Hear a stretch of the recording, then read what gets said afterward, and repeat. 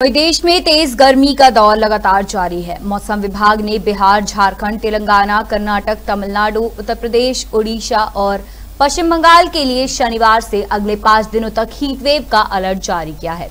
इसके अलावा उत्तर प्रदेश, मध्य प्रदेश, छत्तीसगढ़, महाराष्ट्र, ओडिशा, पश्चिम बंगाल और तेलंगाना के कुछ जिलों में तापमान 42 डिग्री से 44 डिग्री के बीच रिकॉर्ड किया गया। उधर गुजरात आंध्र प्रदेश तमिलनाडु, हरियाणा और दिल्ली में तापमान 40 से 42 डिग्री के बीच बना हुआ है। वहीं आंध्र प्रदेश के नांदयाल में सबसे ज़्यादा टेम्परेचर चौवालीस डिग्री दर्ज हुआ है।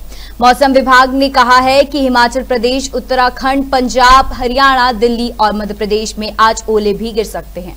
वहीं जम्मू कश्मीर, हिमाचल प्रदेश, उत्तराखंड, पंजाब मध्य प्रदेश छत्तीसगढ़ और महाराष्ट्र समेत नॉर्थ ईस्ट के सात राज्यों में आज बारिश की भी संभावनाएँ हैं।